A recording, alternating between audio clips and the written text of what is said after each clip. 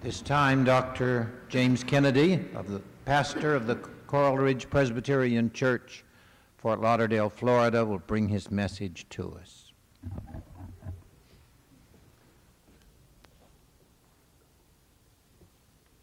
Good evening.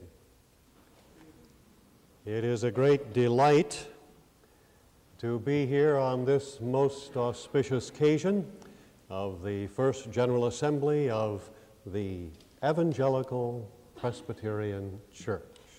Now that has a nice ring to it, don't you think? The Evangelical Presbyterian Church.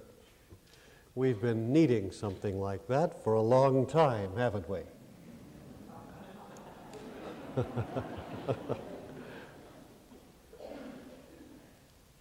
it was inspiring to see all of these young men ordained, to um, see my old friend Cal Gray uh, ordained as your moderator, and to be in this beautiful church Dr. Bartlett Hess, and to hear the wonderful choir. This is indeed a most auspicious occasion. And as a, um, a minister at uh, last hearing in good standing in the Presbyterian Church in America, when I was called by Dr. Scotchmer and invited to come to uh, speak here, I uh, said I was delighted to hear that uh, the churches were taking a stand for the gospel. I said, May I inquire why you decided not to join the Presbyterian Church in America, which is what just about everybody's doing these days. Orthodox Presbyterians, Reformed Presbyterians, everybody's joining the Presbyterian Church in America. And he told me that had something to do with a question about women.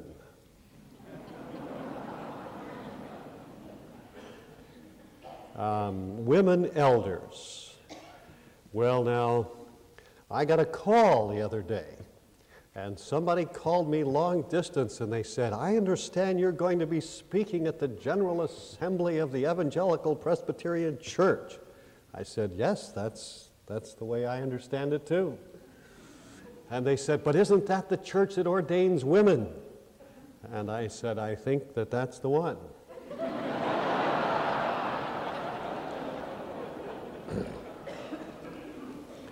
And they said, Well, how can you do that? I said, Well, I uh, have always taken as a motto what Pascal said in essentials unity and non essentials liberty and all things charity. That's a very good motto, I think. I, we solved the, the, the, problem of women elders in our church many, many years ago in, in a rather unique way. Uh, I thought you ought to be aware of, of that. Um, I told them that we would be glad to have any women that wanted to be elders. I said there, there was one stipulation, however, and that is that I would always refer to them as the elder Mrs. Jones.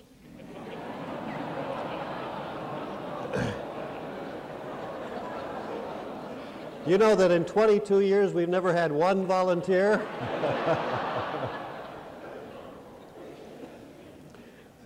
Seriously, I, I am uh, rejoicing in your, in your stand for the gospel. I am sad that you could not find it to uh, come and join with us and uh, reverse the trend towards uh, splintering and join the evangelical Christians, Presbyterians anyway, together. But so much for that. I'm delighted to be here. You are a new church. And um, one question that should be in the minds of, of a new church is what does God want you to do now? Where do you go from here? What ought you to be about? And that's what I would like to discuss with you this evening God's purpose for His church, for you as a new denomination in the uh, body of Christ. Uh, and is probably not what you have in mind that God wants your church to do, at least not entirely. It will certainly be in part for all of you. But You know, I think that lay people often come to church year after year and they hear the preacher say that they're supposed to do this and then they're supposed to do that and then there's this thing and that and the other and this one. And they go home and uh, sometimes they just get confused. It's quite obvious that denominations are confused about what God would have them to do. You don't have to survey the scene very long to ascertain that. And I used to wonder myself, eh, wouldn't it be nice if God somewhere said it concisely, succinctly, and simply, precisely what He wanted us to do? And uh, I thought that would be so helpful, and I looked for it. And after some considerable searching, I finally found it. And where did I find it?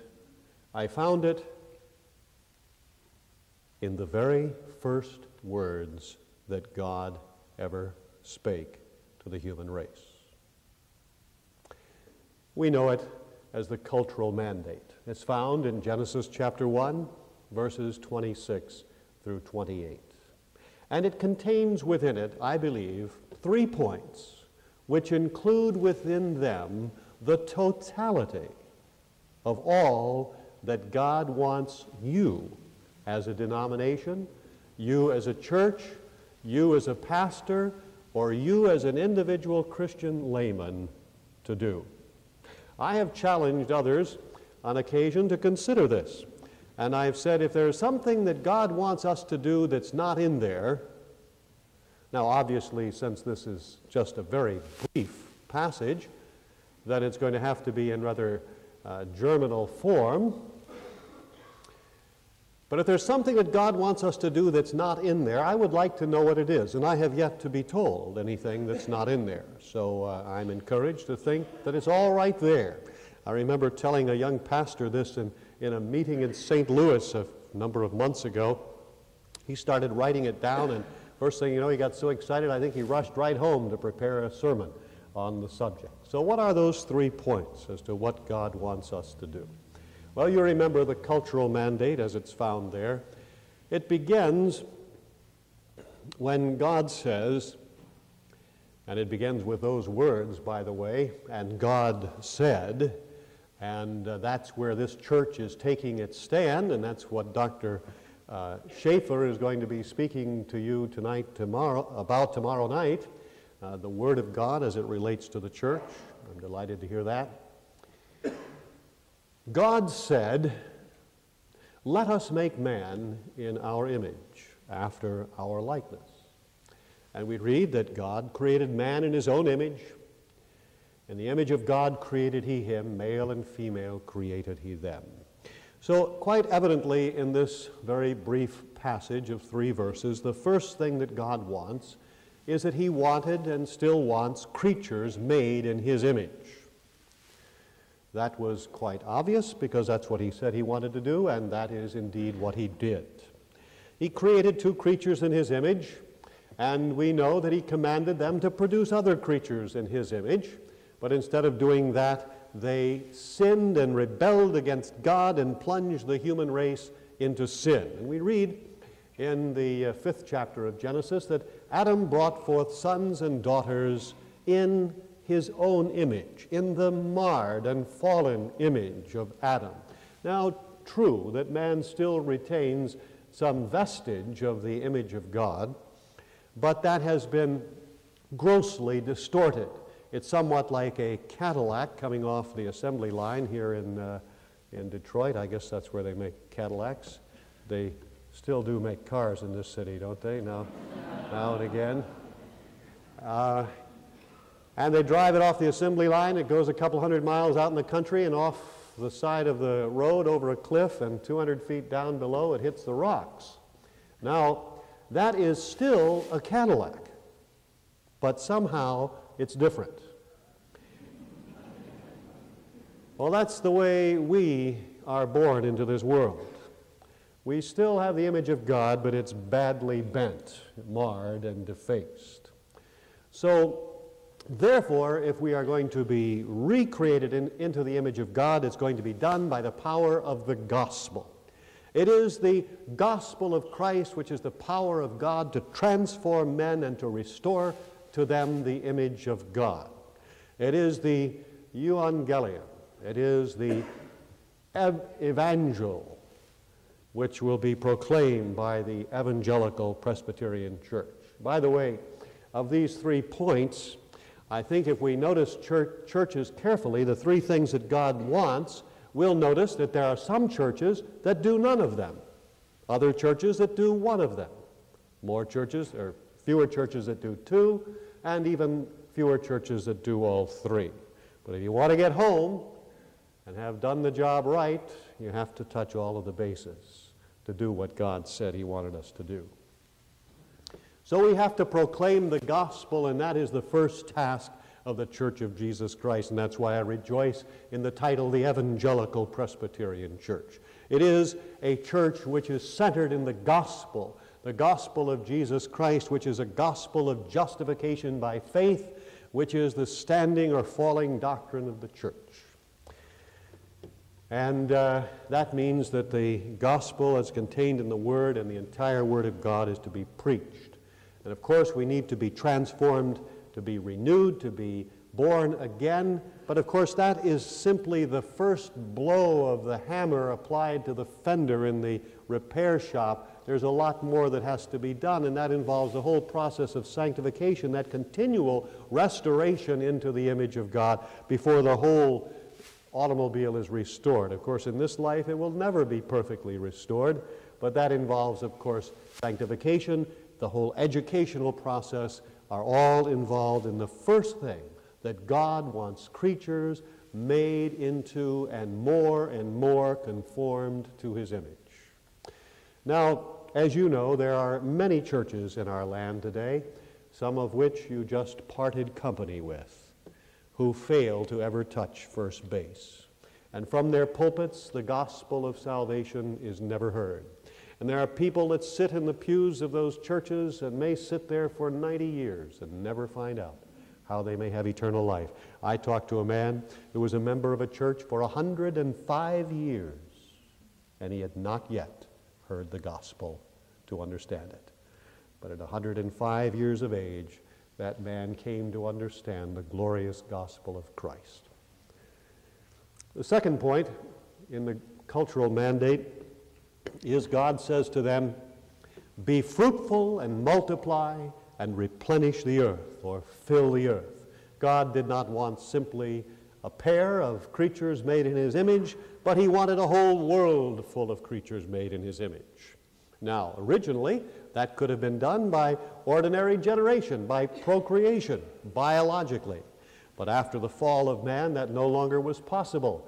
They brought forth creatures biologically into the fallen, in the fallen nature of Adam, as we have said. So now it has to be done spiritually, not with the corrupted sperm seed of man, but with the incorruptible seed of the Word of God.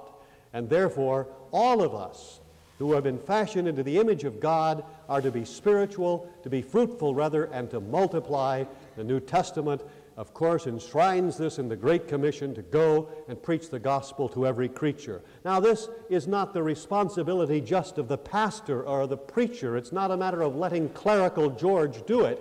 It is the responsibility of every single person who has been transformed into the image of God. It is responsibility of every Christian, and therefore it is the responsibility of the church to equip the saints to do that. Ephesians 4 tells it that God gave the pastor teacher for the purpose of equipping the saints to do the work of ministry. Now, though there are many churches where the gospel is not preached from the pulpit, it is also sadly true that even among the majority of churches where the gospel is preached from the pulpit, the saints of God are not adequately trained and equipped to do the work of ministry, and most of the Christians are not fruitful and are not multiplying. Fifteen years ago, a nationwide survey indicated that 90% plus of the church members in America had never won anyone to Christ. Now, that figure has gone down tremendously in the last 15 years because of the emphasis that has been placed upon this, but I am still quite certain that the majority of the members of the Presbyterian Church in America, and may I be so bold to say, probably the majority of the members of the Evangelical Presbyterian Church have never won anybody to Christ. And pastor, teacher, God gave you to them to equip them to do it. You might ask yourself the question right now if God took you away, how many saints would there be equipped to do and actually engaged in doing the work of ministry, which includes the cutting edge of evangelism, of spiritually multiplying and being fruitful and filling the earth with creatures made in the image of God? Now, if you want to have your denomination be a, a success, if you want to have it do what God wants you to do, then I strongly urge you, I appeal to you to train your lay people to learn how to evangelize other people. There is a desperate need in the world for that today. And as you can see, we begin to progress downward. There are more churches that preach the gospel, though there are many, probably the majority of them in the country don't do that. There are fewer churches that train their people. That brings us to the third point or the third base, and that is God says, subdue the earth and have dominion over it. God has called us to be the vicegerents of God upon this earth, His representatives here on this world, and that He calls us to take all of the tremendous potentialities that God has built into this world, into the natural world and into the societal world. And we are to take these and we are to improve upon them and we are to perfect them and we are to offer them up to the glory of God. Now, you know, it's, it's interesting that there are many churches that have proclaimed the gospel and even have trained their lay people to preach the gospel, but they've never gone beyond that. And they've never seen the fact that they're not fulfilling what God wants them to do. I had this brought home to me years ago. We had a debate on the beach in Fort Lauderdale between a Christian minister and an atheist. And the college students were down there. That's uh, when all the students gather down there. You remember they made a picture about it where the boys are. You remember that? It was interesting about that time, one of the athletic clubs, the, the uh, weightlifting places in Fort Lauderdale, had a big sign on the side of their building that said, Where the men are.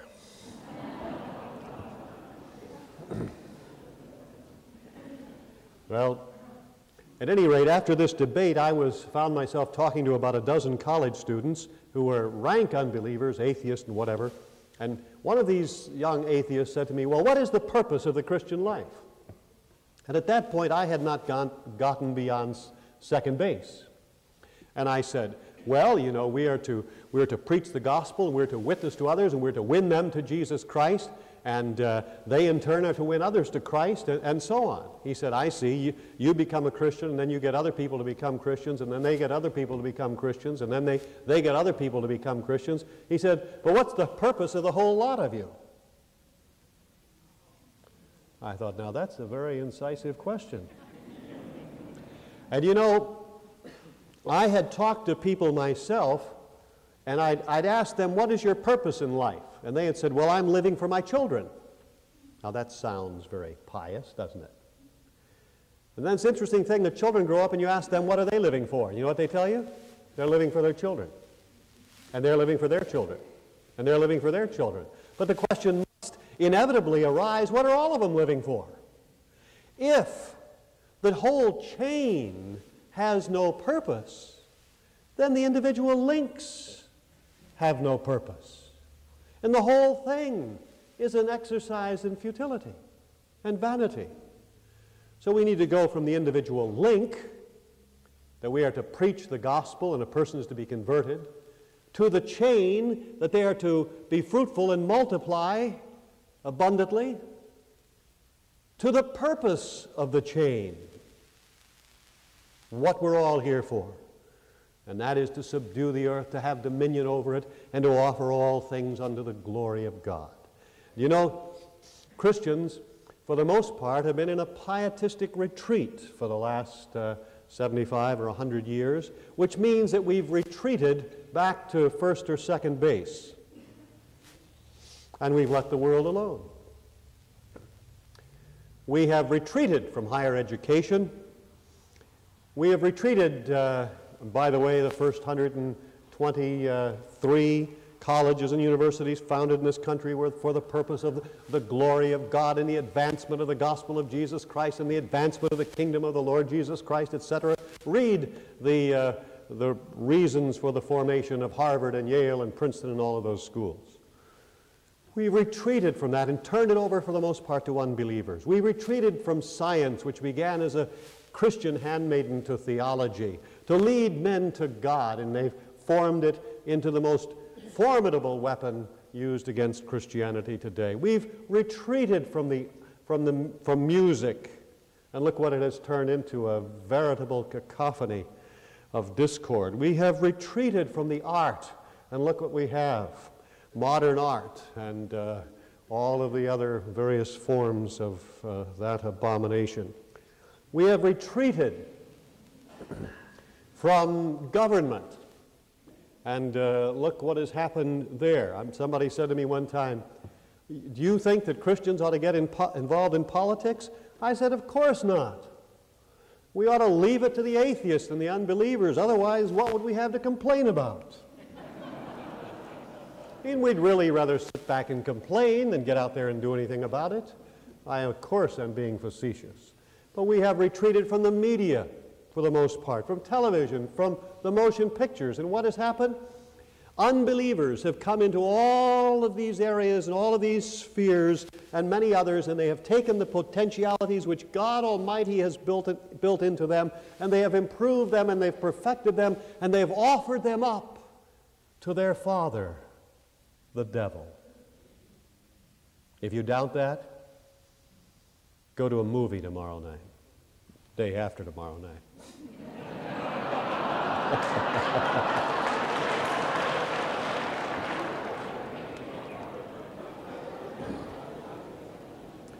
Choose one at random, and you will notice that it is an oblation on the altar of Satan.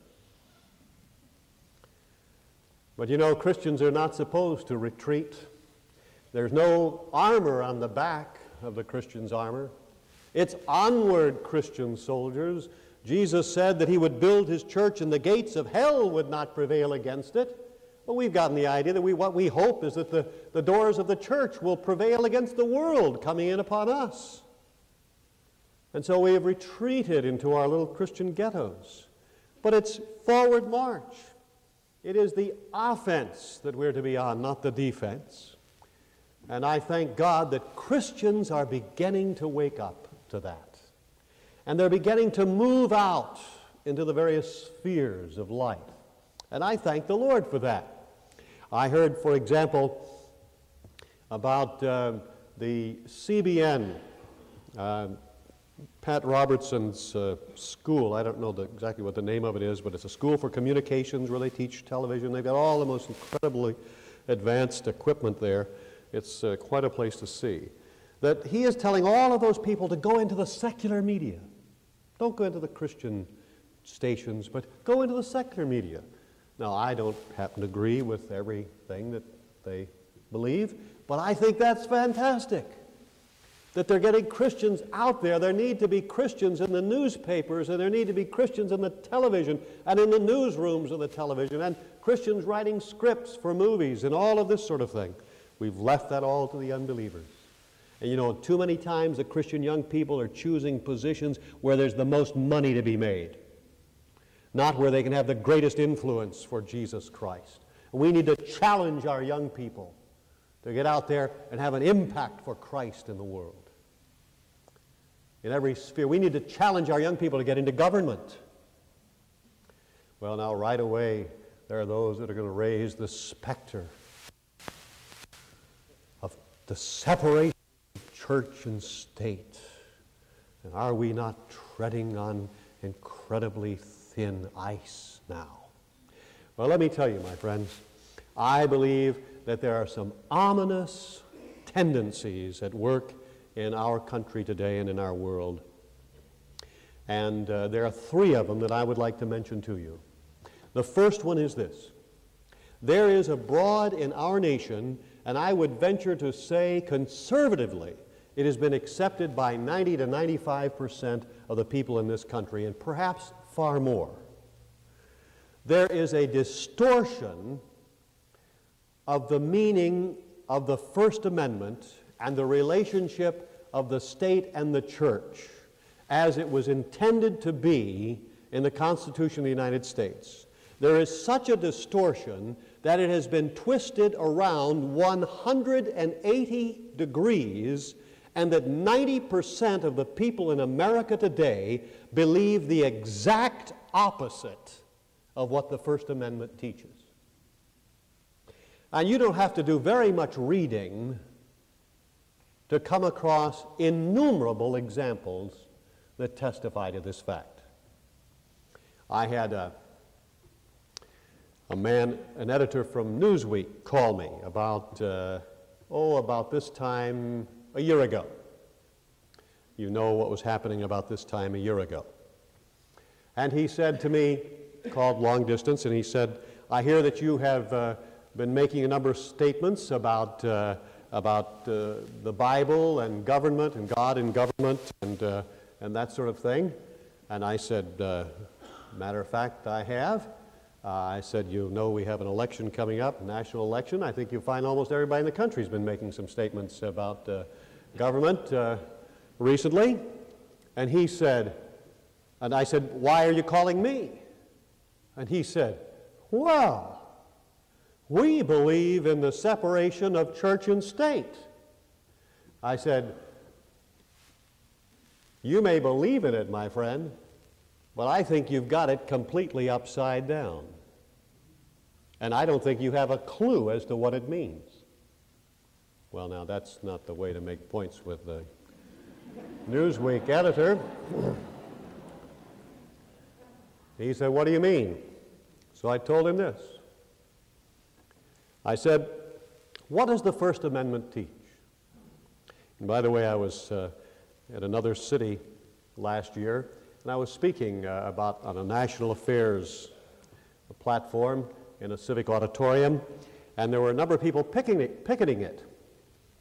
And, uh, you know, one of my favorite things to do, you know, you have some people like to go sailing or skating. One of my favorite things to do is talk to pickets. That's very interesting. If you've never done that, you should try it. There was, a, there was a young man, I would say he was about 22 or 3, and he was picketing with a sign. It said, uh, A wall of separation between church and state.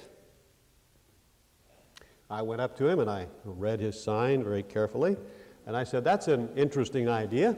I said, Where did you get that? And he looked at me like I was some sort of a cretin that uh, had just crawled out from a, under a rock somewhere, and he said, The First Amendment. There was sort of a pause there. You know he wanted to say dummy, but he restrained himself. And I said, Oh, oh, the First Amendment. Hmm. I read it again. I said, You know, that's interesting. I said, I didn't know the First Amendment said anything about a wall. I said, I didn't even know it said anything about separation. In fact, the matter, I, I didn't even know it said anything about the church. I said, to be perfectly honest, I didn't know it said anything about the state. He said, it doesn't? I said, no, none of those things. He said, well, what does it say? I said, well, it's your sign, you tell me.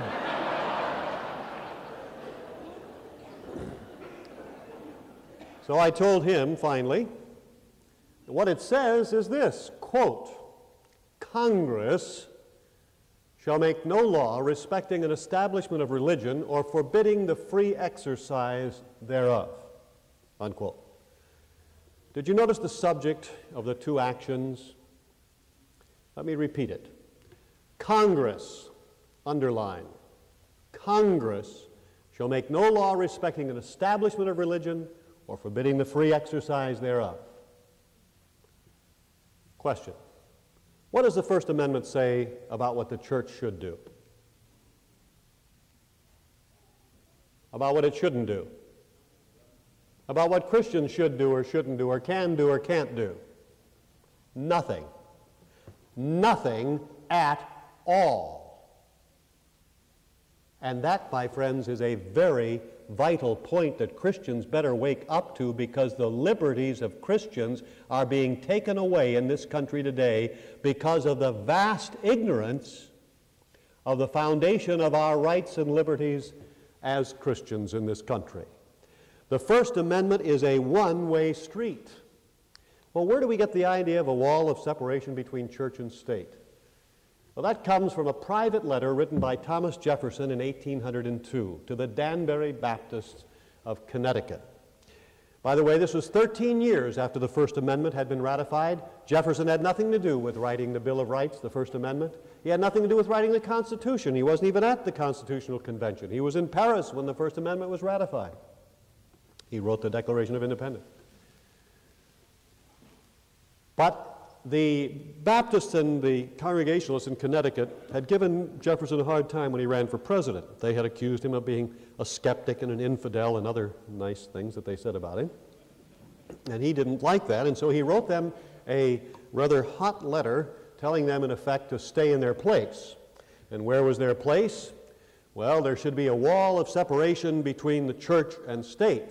And if this is the state, what we're going to do is build a wall right across here, and all you Christians can stay behind your wall and just keep out of our business over here, and that'll be fine. Now, you see, maybe you don't see the difference, but the point is that the idea of the separation of church and state has come to the minds of most Americans to be what the First Amendment teaches, and it is not. I'll say it again. The First Amendment does not teach the separation of the church and state. Thomas Jefferson did in a private letter. And if you don't see the difference, you better find out quickly what it is. The difference is the First Amendment is a one way street, and a wall of separation is a two way blockade. A wall prohibits those on this side from going over there as much as it prohibits those on this side from going over there. Now, that's a two way street. But the First Amendment was a one way street. It only restrained the Congress. I remember an atheistic uh, talk show host where I'd been on the program in Miami got a hold of this that I'd said, and to him this was the most ludicrous idea he'd ever heard that the First Amendment was a one way street and it didn't apply to the church as much as it did to the government. He said that was just the most ridiculous thing that he'd ever heard. Now you wonder how a person could be so unaware of the history of the founding of this country. Why was the, were the Bill of Rights, was the Bill of Rights passed? Why were the first 10 amendments passed? It's because people so feared the new federal government that they wanted to further tie down this Gulliver and restrain it because they feared the powers of a tyrannical federal government which they'd known in Europe, and they wanted to protect the liberties of the people, and they wouldn't accept the Constitution without the rights of the people and the liberties of the people being further protected by a Bill of Rights. And if you think that a one way street is preposterous, consider the freedom of the press. The Constitution restrains the government from interfering with the freedom of the press. Well, now, since, according to our atheistic talk show host, that can't be a one way street, it must be a two way street, then that obviously means that the press can't say anything about the government either. You've never read anything about the government in the press, have you? I mean, that would be a one way street, just the other way. Well, of course, all of the amendments restrain the government and not the liberties of the people. But that has been turned into a two way street, and if that's not bad enough, in the last several years it's been turned all the way around 180 degrees and diametrically the opposite direction. And if you doubt that, ask yourself this question. In the last two or three years, when you have heard the subject being discussed of the separation of church and state, think what was being discussed? And I'll venture to wager, if I were a wagering man, that 98% of the time what was being discussed is what the church should or shouldn't do, what Christians could or couldn't do. Is that not true? It's turned completely around. And the shackles that the founding fathers put on the federal government have been thrown off, and they are now busily putting them on the church. And if you doubt that, Rushdoony called me a couple of months ago and told me about 80 churches in California that have been taken over by the government. And uh, half of them had already been auctioned off. Why? Well, because they refuse to uh, follow the, the rules that the government was laying down for them. And the government had established what a church was, and these people wouldn't uh, concur with that, and so they closed them down. Evangelical churches. I have a letter on my desk to the mayor of uh, Los Angeles, I believe it is, and uh, someone wrote to him, a Christian, and said, I would, I'm thinking about moving into your city, but uh, if I do that, I would like to uh, hold uh, uh, Bible studies and a prayer meeting in my home, and I wanted to check and see if that was okay. Now, I have a letter on my desk, the letterhead of the mayor's office and his signature, and he says, in effect, no that will violate their ordinances, their zoning ordinances, and you can't do that. It's in your place, Christians. And that place is getting narrower all the time. This week in Fort Lauderdale, the Broward County Commission passed a law requiring the licensing of Christian schools, wholly owned and operated by churches. Now, if they can license your Christian schools on, on Friday, why can't they license them on Sunday? And if they can extend the license, they can withdraw the license. The shackles are being taken off the government and they're being placed on the church. And the tragic thing is that there are all sorts of Christians that are egging them on out of pure ignorance. Now, the Constitution doesn't teach the separation of church and state. That was taught by a, an infidel. What it teaches is the separation of the state from the church. And that is being lost today at the danger of losing the freedoms of Christians. We better be aware of that. Another ominous tendency that is going on today is the fact that we are seeing the establishment of a religion in this country. In contradistinction to the uh, First Amendment, while everywhere Christians, an effort is being made to efface all evidence of Christianity in this nation and uh, every vestige of Christianity in public life, while that is going on apace, there is at the same time, there has gone on to the point of completion the establishment of a religion in the United States. Do you know that now, contrary to the First Amendment, we have an established religion in America? It is the religion of secular humanism. I read an article in Time magazine recently, in a recent, very recent issue, and they said that secular humanism was something that had been invented by fundamentalist ministers in the mid 70s as a, as a boogeyman to blame all of the troubles of our country upon. And I thought, how could anybody be that uninformed? And I don't believe it's conceivable that that man could really be that ignorant of the matter and be an editor at Time magazine. So I will have to assume that he is really trying to deceive people. You know, where was he when the Humanist Manifesto was published in 1933? Where was he when the 1973 Second Humanist Manifesto was published? Where was he when the Supreme Court in 1961 declared humanism to be a religion? Where was he when the American Humanist Association was formed? Where was he when the publication of the Humanist magazine started? This is utterly ridiculous. I subscribe to the Humanist, the official magazine of the American Humanist Association, and uh, I assure you it's not published by Jerry Falwell. that is undoubtedly the most incredibly uh, uninformed, and that's the nicest thing that I can say about it, statement that I have ever heard. Humanism has been around for some time, and it is a religion. And what do I base that statement? Well, the Humanist Manifesto of 1933, signed by such notables as John Dewey, nine times declares that humanism is a religion. The dictionary defines humanism as a religion. The president of the American Humanist Association wrote a book as Humanism as a Religion. And furthermore, the Supreme Court in 1961 in Torcaso versus Watkins and another decision declare that humanism is a religion. Among religions, non theistic religions in, in America are, they said, Buddhism, Taoism, ethical culture, secular humanism, and others. Unquote. Torcaso versus Watkins.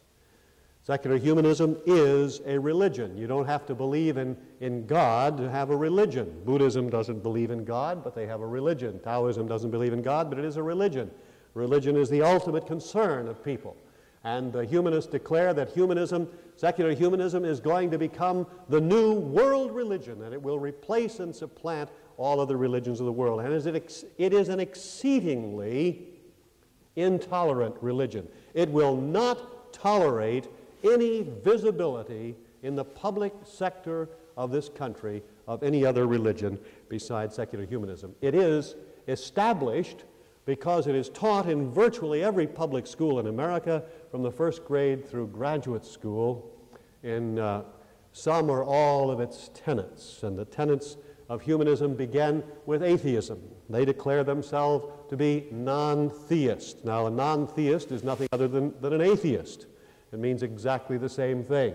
No deity will save us, they declare. We must save ourselves. We find insufficient proof of any supernatural. They are atheists. And atheism is spreading at uh, great speed in the world today through secular humanism, and your children are being indoctrinated in, in it in the public schools. They Secondly, they believe in evolution. Since there is no God to have created the world, obviously the world is here. It must have evolved from the primordial slime. And so they are strong adherents of uh, evolution, and uh, which is uh, really very interesting. I don't know if you know or not, but the, the central tenet of evolution has virtually uh, crumbled beneath the evolutionists' feet in the last uh, year. Uh, and that is the, the basic concept of evolution that, that by micro mutations, very slowly and gradually, species have changed little by little from one species to another, all the way up the ladder from amoeba to man.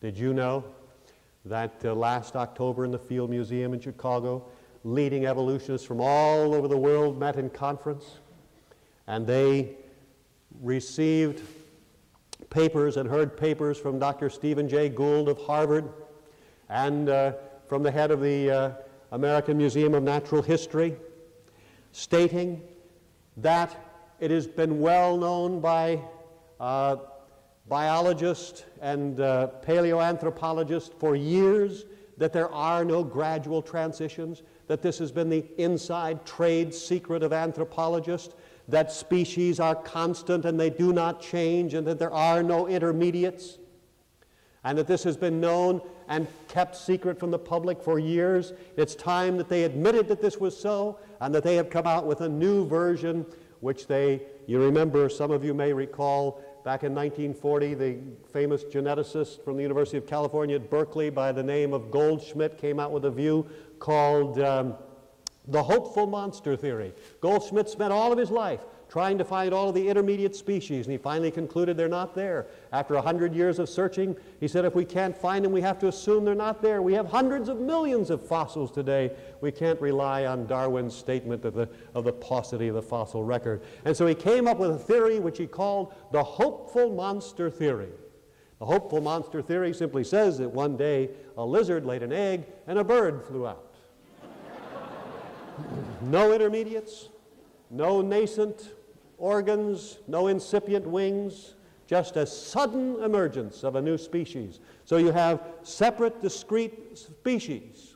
How many hundreds of millions of times have students been told for the last century and a quarter that there have been gradual transitions and that, that they have these transitions and they can show them to them and all of that sort of thing, which is a bunch of hogwash, and now they have admitted it. Well, of course, what happened to Goldschmidt's view? It was laughed at. You know, hopeful monster is not exactly what you call the parlance of science. That just uh, was destined that it uh, wasn't going to play in Peoria or in Harvard.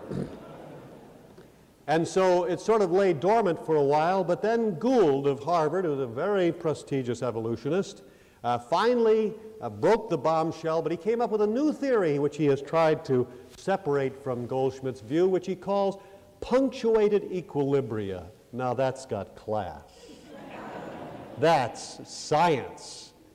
But when you find out what punctuated equilibria is, you find out that it is exactly, virtually the same thing that Goldschmidt had, and that is that there are no intermediate forms, that natural selection has nothing to do with evolution, and that species have been fixed and they remain unchanged, and the jumps come in great sudden leaps from one species to another. Now, I want to tell you this there is practically nobody in the world today that would buy that if they heard it for the first time like that. At least Darwin's theory had a sort of a plausibility about it. This is absurd. And yet, this is where they have been brought by the evidence. The central tenet of evolution has crumbled, and the vast majority of the scientists at the Field Museum accepted this.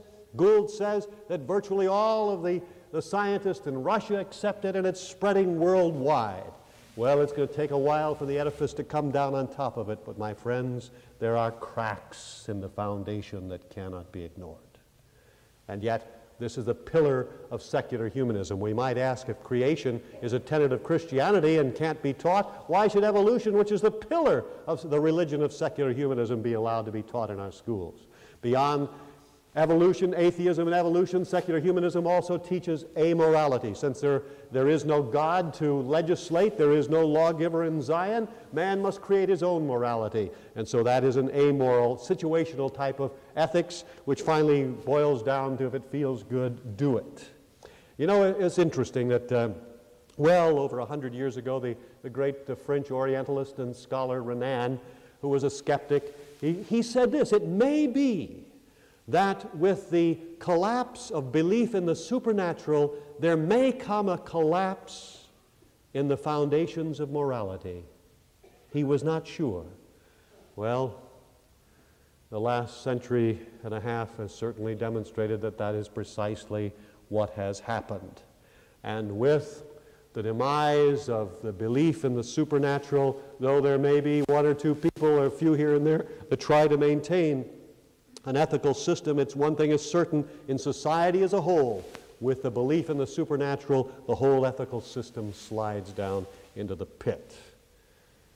And you know, the, the uh, secular humanists have their own ethical system, which is all man made. It's their own little bucket of worms that they want to dump off on the American public. We'll say a word about that in just a minute. And uh, fourthly, since there is no provident God to take care of people, they believe, of course, in the socialist state. And they've been teaching that to our young people in schools for 40 years.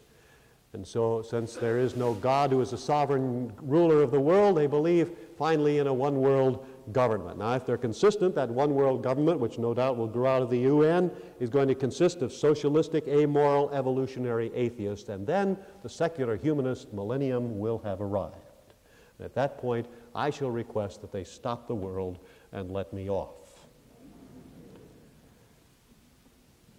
A third and final disturbing trend today deals with the fact that the humanists are engaged in a legal revolution which has great significance to us as Christians. How many of you have heard the statement, you can't legislate morality?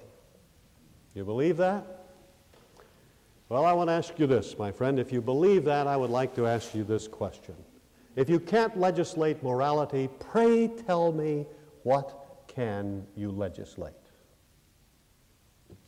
It is illegal to murder because it is immoral to murder. It is illegal to commit incest because it is immoral. It is illegal to rape because it is immoral to rape. It is illegal to steal because it is immoral to steal. And anyone that knows anything at all knows that that's where laws come from. But you'll hear these people cry out, oh, we don't want any one religion telling, imposing their morality on us in the form of legislation. Well, let's face it. This country was founded upon the morality of the Bible, the Decalogue, the Ten Commandments. James Madison, who had most to do with writing the Constitution, said it will be impossible to govern America without God and the Ten Commandments. We've come a long way, brother. Now the Supreme Court says you can't put the Ten Commandments up in the walls of the schools in Kentucky.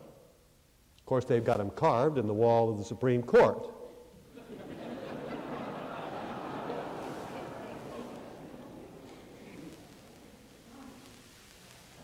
They found Madalyn Murray up there with a sanding machine one day, but. Uh,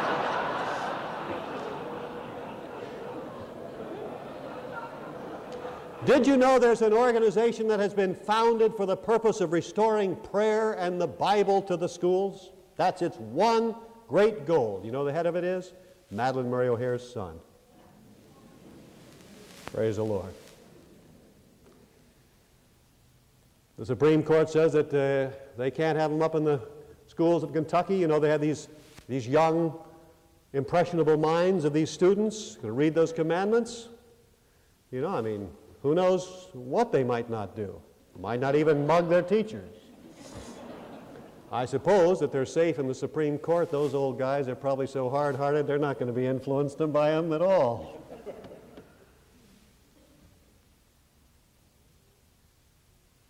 But there is an effort when they say that you can't, they don't want one religion imposing its, its morals on the country in form of legislation. What they don't tell you is what they really mean is they don't want Christians imposing their morality upon the country because the secular humanists are very busily engaged in imposing their morality on the country in the form of legislation. You see, the Bible was the foundation for the legislative enactments of this country. Every government that has ever existed has been based upon some theistic or anti theistic view, either upon some religious view or some anti religious view, such as communism. And uh, all legislation has grown out of those views, as it was true in this country. The legislation of this country was originally based upon the laws of the Scripture. But now the Bible is being moved over, and in its place is coming the legislative, the rather the ethical agenda of the secular humanists. Now, you want to know what that is? You'll see how far they have already succeeded in having this reproduced into law. Divorce on any ground, 37 states. Abortion on demand, anywhere in the country infanticide, already being practiced in some large hospitals in this country, pornography, gambling, the right of suicide, free sex between consenting adults of any type, homosexuality, euthanasia, and a few other squirmy things in their bucket. And all of these, they are busily engaged in having transformed from their so called ethical agenda into legislation binding upon the people of America. So when they tell you they don't want one religion imposing its moral views on the country, you tell them that that is a lie. They do want one religion imposing its moral views on the country, and that is the religion of secular humanism. But unfortunately, most Americans have been sitting around like the proverbial frog in the pan of water which is being gradually heated without even realizing that it was going on. Some of them shouting loudly, Well, you can't legislate morality. My friends, God wants us to subdue the world. He wants us to, to, as salt and light, to influence every sphere of this world. He wants us to come off of the defense, to get out of our evangelical and pietistic ghettos. He wants us to attack the world in all of its various spheres. Christians need to get out and have an influence on education and on government and politics and the media and art and everything else in this country. Christians need to make their voices heard and they need to realize that in life Their goal is to bring glory to God in every one of these spheres. Now, these, I think, are the three points that are clearly taught in this cultural mandate that we are to proclaim the gospel that people may be transformed into, and by the further proclamation of the whole counsel of God, further transformed into the, into the image of God. That they are to be trained to be fruitful and multiply, that every Christian is to be a witness for Jesus Christ, that we're to cover the earth with them. And thirdly, we are to subdue the wor- world and have dominion over it, and uh, that we are to take all of the potentialities of it and offer them up to the glory of God. This, I believe, includes everything that God would have you, evangelical Presbyterians, to do as a church. If you get through by next week, I'll see if I can come up with something else. God bless you.